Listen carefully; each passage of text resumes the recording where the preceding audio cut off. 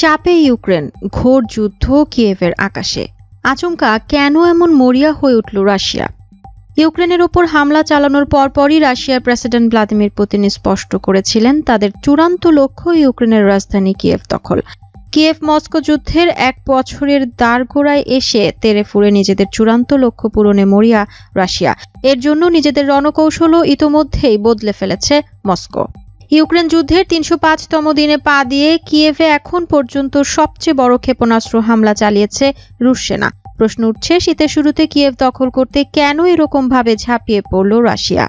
ঠান্ডা এবং তুষারপাতের জেরে এমনিতেই বেকায়দায় পড়ছেন কিয়েভের বাসিন্দারা। শহরের অনেক রাস্তাঘাট সাময়িকভাবে বন্ধ করা হয়েছে। চাইলেই শহরের বাইরে যেতে পারবেন না শহরবাসীরা। মনে করা হচ্ছে এই পরিস্থিতিরই সুযোগ নিয়েছেন রাশিয়ার সামরিক কর্তারা। পাশাপাশি শীতকালে কিয়েভে বিদ্যুতের সরবরাহ কম থাকে। নেটওয়ার্কেরও বিভিন্ন সমস্যা দেখা যায়। ইউক্রেন প্রেসিডেন্ট ভলোদিমির জেলেনস্কি আগেই জানিয়েছিলেন, শীতকালে তাদের কঠিন পরিস্থিতির জন্য প্রস্তুত থাকতে হবে। আর এই সময় মস্কো থেকে আবার নতুন করে কিভ আক্রমণ হতে পারে বলে তিনি আশঙ্কা প্রকাশ করেছিলেন। জেলেনস্কি সেই আশঙ্কাকেই সত্যি করে কিয়েভ দখলের নতুন ছক কষতে শুরু করেছে রাশিয়া। বিদ্যুতের সমস্যার মধ্যেই রাশিয়ার কামিকাজে বা আত্মঘাতী ড্রোন সোমবার কিভ এবং আশেপাশের বিদ্যুৎ কেন্দ্রগুলিতে আঘাত হেনেছে। হঠাৎ করে বিদ্যুৎ বিভ্রাটে কিয়েভ শহর এবং পার্শ্ববর্তী খার্কিভ, সুমি পোলতাফা এবং জাপরিজিয়া অঞ্চল সহ আরও বেশ কয়েকটি জায়গা ক্ষতিগ্রস্ত হয়েছে। দিনিপ্রো পেট্রোফক্স অঞ্চল এবং পূর্বের এলাকাগুলি সবচেয়ে বেশি ক্ষতিগ্রস্ত হয়েছে। নেটওয়ার্কের সমস্যা থাকলে ক্ষেপণাস্ত্রগুলি অনেক সময় রাডারে ধরা নাও পড়তে পারে। মনে করা হচ্ছে সেই সুযোগকেও কাজে লাগাতে উঠে পড়ে লেগেছে ক্রেমলিন। ঝাঁকে ঝাঁকে রুশ ক্ষেপণাস্ত্রের হামলায় শহরের বিদ্যুৎ পরিষেবা বিপর্যস্ত হয়ে পড়ায় কিয়েভের জল সরবরাহ সহ অন্যান্য জরুরি পরিষেবায় সমস্যা বাড়ছে। পাশাপাশি হঠাৎ হামলায় ব্যাহত হয়েছে খাদ্য সরবরাহ। তীব্র খাদ্য সংকটে পড়তে পারেন কিয়েভের বাসিন্দারা। সামরিক বিশেষজ্ঞদের মতে, ইউক্রেনকে পিঠে এবং পেটে মারতে মারতে নতি স্বীকার করতে বাধ্য করানোর জন্যই আটঘাট বেঁধে যুদ্ধের ময়দানে নেমেছে পুতিন বাহিনী। শীতকালে রাজধানী কিয়েভ এবং আশেপাশের এলাকাগুলিতে আঘাত হানলে তৈরি হওয়া সম্ভাব্য পরিস্থিতি নিয়ে হয়তো আগে থেকেই অবগত ছিলেন রাশিয়ার সামরিক বাহিনীর কর্তারা। আর সেই জন্যই কিয়েভের ওপর নতুন করে আক্রমণ শুরুর জন্য তারা শীতকালকে বেছে নিয়েছেন বলে মনে করছেন অনেকেই। ইউক্রেনের ওপর আগ্রাসনের পর থেকে বারবার রণকৌশল বদলাতে হয়েছে রাশিয়াকে। কারণ কোনো রণকৌশল এই জেলেনস্কিকে বেকায়দায় ফেলতে পারেননি পুতিন।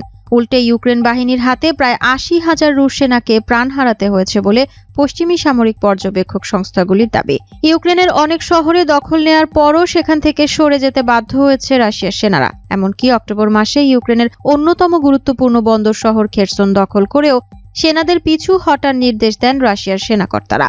কিন্তু নতুন হামলায় কিয়েভের পাশাপাশি আবার সেই খেরসনও হামলা চালাতে শুরু করেছে রাশিয়া। দখল নেয়ার পর থেকে দশ মাস ধরে রুশ বাহিনীর হাতে এক প্রকার বন্দি দশায় দিন কাটছিল খেরসনবাসীদের।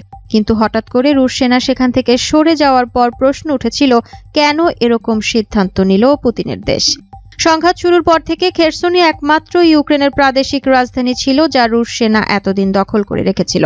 প্রসঙ্গত, ইউক্রেনের রাজধানীকে নিশানা করে সত্তরটিরও বেশি ক্রুজ ক্ষেপণাস্ত্র ছুড়েছে রাশিয়ান সেনা। ইউক্রেনের তরফেও এ দাবি করা হয়েছে। শীতের মধ্যেই কিয়েভ দখলের লক্ষ্যে মাঠে নেমেছে প্রায় দুই লক্ষ রুশ ফৌজ। সেই বাহিনীতে রয়েছে বাছাই করা বেশ কিছু গোলন্দাজ, ট্যাঙ্ক ও সাজোয়া ব্যাটালিয়ন। ইউক্রেন সেনার জেনারেল ভ্যালেরি জিয়ালোজনি একটি ব্রিটিশ সংবাদ মাধ্যমকে জানান, নতুন বছরের গোড়াতে কিয়েভ দখলের লড়াইয়ে নামতে কৌশলগত প্রস্তুতি শুরু করেছে প্রায় দুই লক্ষ রুশ সেনা। আগামী চব্বিশ ফেব্রুয়ারি রুশ হামলার বর্ষপূর্তি।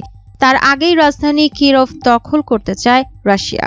আবার কিয়েভ লক্ষ্য করে উড়ে আসে বহু রুশ বোমারু ড্রোন। কিয়েভের ওপর হামলা চালাতে রুশ বিমান বাহিনীর দুটি স্ট্র্যাটেজিক বোম্বার ব্যবহার করা হয়েছে বলেও ইউক্রেনের দাবি। এই পরিস্থিতিতে রাজধানীর আকাশে উড়ান সতর্কতা জারি করেছে ইউক্রেনের প্রেসিডেন্ট ভলোদিমির জেলেনস্কির সরকার।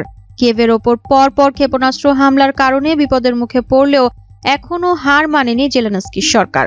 সম্ভাব্য রুশ হামলার মোকাবেলার জন্য আন্তর্জাতিক দুনিয়ার কাছে অস্ত্র ও গোলা বারুদের আবেদন জানিয়েছেন ইউক্রেন সেনার জেনারেল ভ্যালেরি ঝালকানি। সম্ভাব্য রুশ হামলা মোকাবেলার জন্য আন্তর্জাতিক দুনিয়ার কাছে অস্ত্র ও গোলা বারুদের আবেদন জানিয়েছেন ইউক্রেন সেনার জেনারেল ভ্যালেরি ঝালুজনি। ঝালুজনি জানান, রাশিয়ার হামলা প্রতিরোধের ক্ষমতা ইউক্রেনের রয়েছে, কিন্তু তার জন্য তিনশো ট্যাঙ্ক, ছয়শো থেকে সাতশো সাজোয়া গাড়ি এবং পাঁচশোটি হাউথজার কামান প্রয়োজন। রাশিয়া আরও আগ্রাসী হয়ে উঠলেও তারা ভয় পাচ্ছে না বলেই জানিয়েছেন ভ্যালেরি।